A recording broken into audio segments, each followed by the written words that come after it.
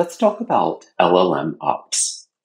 In particular, how do we take this traditional ML ops architecture diagram and figure out what might change when we put an LLM in here?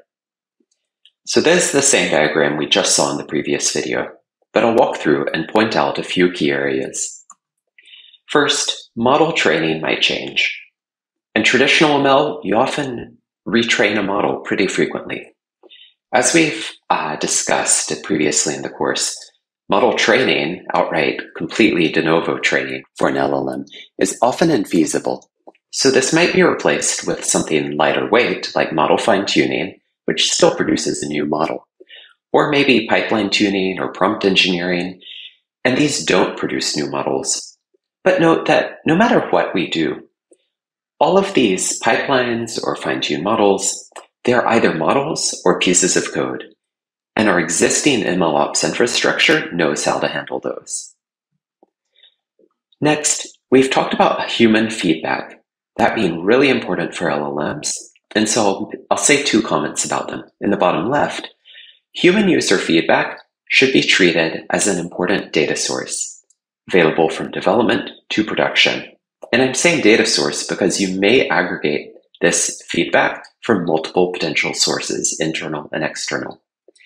On the right, traditional monitoring, which is often fairly automatable, may need to be augmented by a constant human feedback loop. Now, automated quality testing related to human feedback may be much more difficult. So we've talked about how it needs to be augmented with human evaluation, and the place where that will probably happen is in this continuous deployment part. Rather than doing what you might do with traditional ML, like test on a batch data set offline, you'll more likely do incremental rollouts, showing the model or LLM pipeline to a small set of users, seeing how they respond, and increasing that percentage as you gain confidence.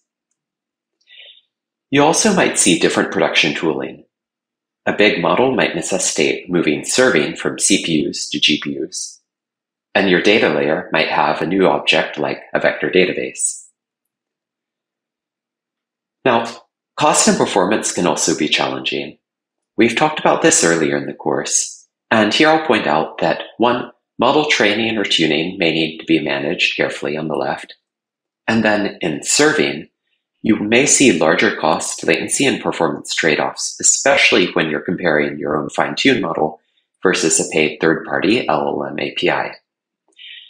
I will give the caveat that I'm comparing against traditional ML, by which I mean if you're coming from a computer vision or NLP background where you worked a lot with deep learning already, LLMs are going to be pretty familiar in terms of the costs of training, fine-tuning, and inference.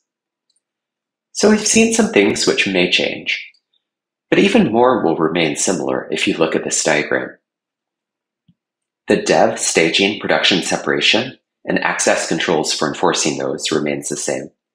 Our conduits for shipping pipelines and models are still Git and model registries. The lakehouse architecture for managing data is still critical. Our CI infrastructure can be reused, and we still have this modular structure for MLOps where we develop these modular data pipelines and services you see in the boxes here. But we did mention some things which change, so in the next video, we're going to dive into a few more details about those.